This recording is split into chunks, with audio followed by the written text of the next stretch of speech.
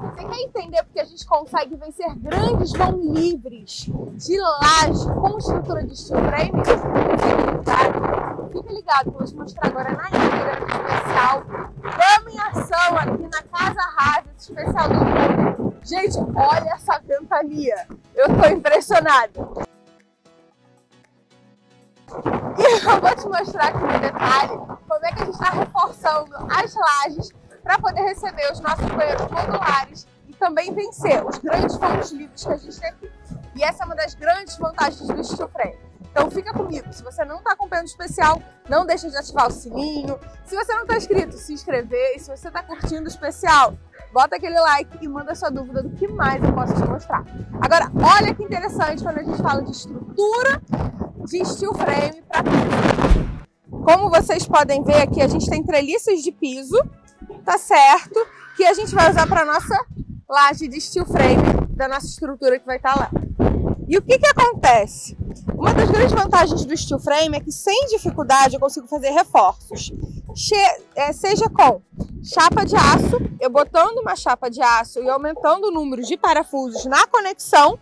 Nesse caso, quando eu tenho uma falha, por exemplo, no cortante. Falha não, quando eu tenho grandes esforços no cortante. Então, essa é a solução que a gente usa.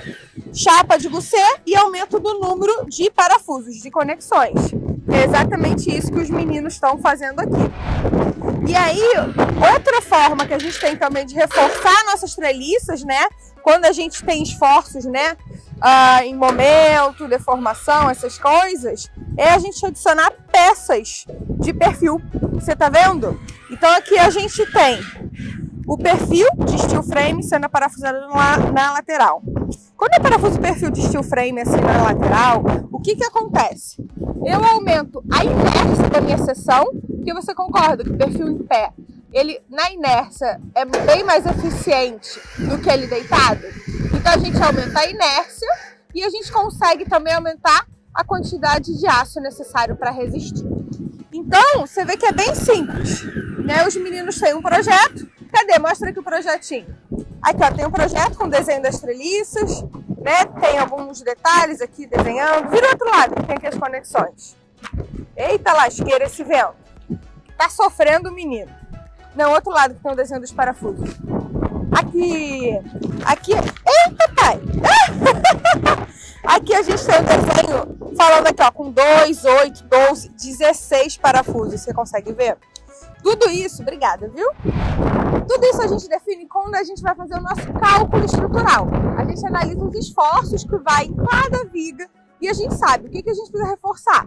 Ah, eu preciso botar mais parafuso. Ah, eu preciso botar mais perfil de aço. Eu preciso aumentar a quantidade de aço. Então, tudo isso, quando a gente vai fazer o projeto estrutural, a modelagem, você consegue definir como é que vai ser, é, ser o seu reforço.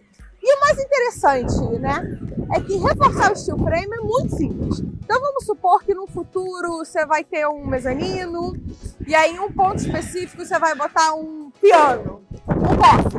Se você quer, quiser reforçar aquela região, é bem simples, é a mesma forma, não precisa ser uma obra do zero. Você pode pegar uma obra antiga, botar as chapas de aço ou então botar o montante.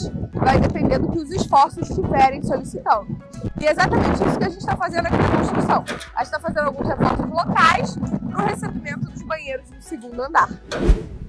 Então, ó, eles vão pegando e é parafusando. Bem simples, né? E aí eu vou até dar uma dica para vocês. Reforço assim de treliça, né, que não tem questão de chapeamento, eu gosto muito de fazer com parafuso sextavado, tá vendo? Que é esse parafuso daqui. Então, uh, existem tipos de parafuso, né? Aqui a gente tem um cabeça panela, né? Aqui, por exemplo, eu tenho um cabeça lentilha e aqui eu tenho cabeça sextavada. Todos esses são parafusos estruturais de steel frame, a gente pode usar sem dificuldade, né? Mas cada um tem a sua funcionalidade, a gente pode utilizar esse. Aqui são reforços já separados e ali são treliças que a gente ainda vai reforçar. E tudo já está pronto para poder fazer a instalação. E o vento continua. então você tá vendo? Quando você quiser fazer um grande vão, né? Quando você tiver uma laje, steel frame pode ser a sua solução.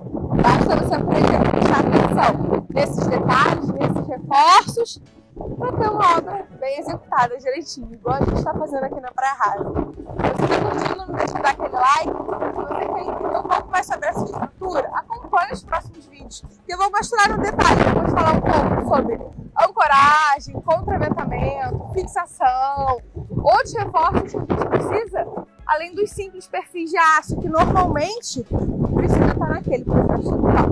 Tá ligado? Grandes e a gente se vê no próximo vídeo.